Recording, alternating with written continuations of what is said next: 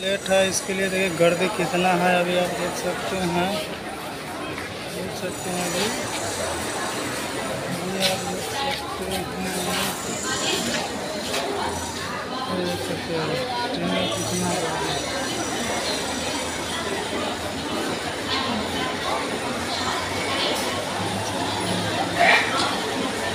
ये बम्बई का नहीं है देखिए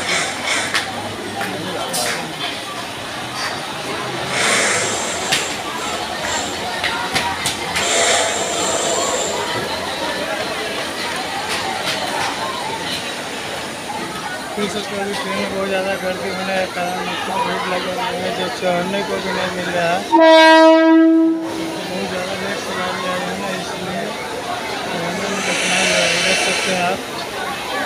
बहुत भीड़ है।